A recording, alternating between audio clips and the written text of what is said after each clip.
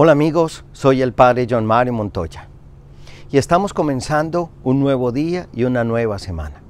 Y quiero invitarle a decir con confianza y con seguridad, hecho fuera de mi vida durante este día y durante esta semana todos los males, todo aquello que me está causando mal a mí y a mi familia, en el nombre de Dios digo que esos males se vayan fuera, que no tienen que ver conmigo, que no me dominan, que no me mandan, que no tienen influencia sobre mí, porque Dios es más fuerte, porque Dios es más grande, porque Dios es más poderoso.